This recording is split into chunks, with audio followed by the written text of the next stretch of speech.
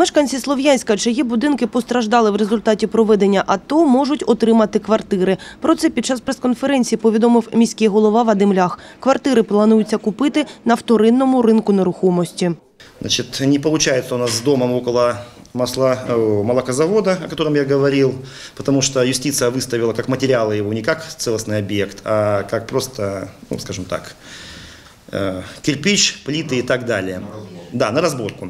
Поэтому не рискнули мы его приобретать. Э, На сегодняшний день дано распоряжение о том, чтобы мы выходили на вторичный рынок. Готовится положение через Прозоро закупать э, этим людям на вторичном рынке квартиры.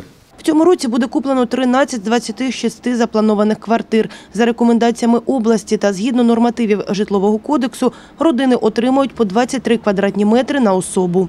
Э, Тут вопрос, вопрос, что мы не сможем сейчас, у нас нет законных оснований все 26, э, потому что часть из них является частной собственностью, выкуплены, приватизированные.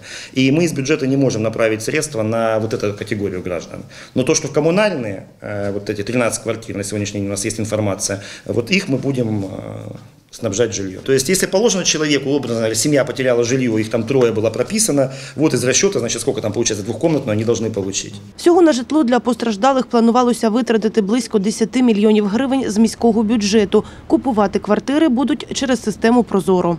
Вот, то есть сколько это затратится, то есть будет это все через Прозоро. То есть мы по- по- выставим условия, чтобы это был не последний, не первый этаж, ну как бы так, да. А дальше кто ниже даст цену э, и на вторичном рынке э, эти квартиры будем приобретать. Загалом в Слов'янську за період бойових дій було повністю зруйновано 124 приватних домоволодіння, 350 будинків мають другий ступінь руйнування.